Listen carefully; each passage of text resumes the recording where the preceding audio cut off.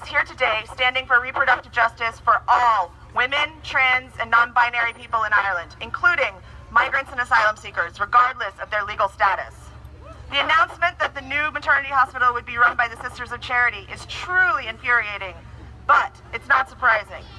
This is just one more in a long, continuous history of ways in which the state shirks their basic duty of care to the people. We can cite examples of this for days, including mother and baby homes, the Eighth Amendment, and the racist system of direct provision. The list goes on and on.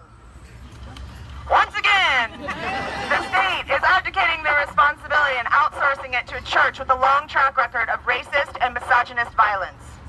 And it's not this abdication of responsibility, it's not just that it's not good enough, which it's not, but actually, it's the state actively participating and colluding in pain and suffering and even death. So let us not forget the thousands of women who were forced to work in the Magdalene laundries. Let us not forget the countless brown and black children who suffered horrific racist abuse at the hands of these same people. Let us not forget a brown-skinned migrant woman named Savita who walked into a Galway hospital and was refused a life-saving abortion after being told that Ireland is a Catholic country. Let us not forget. Thank you.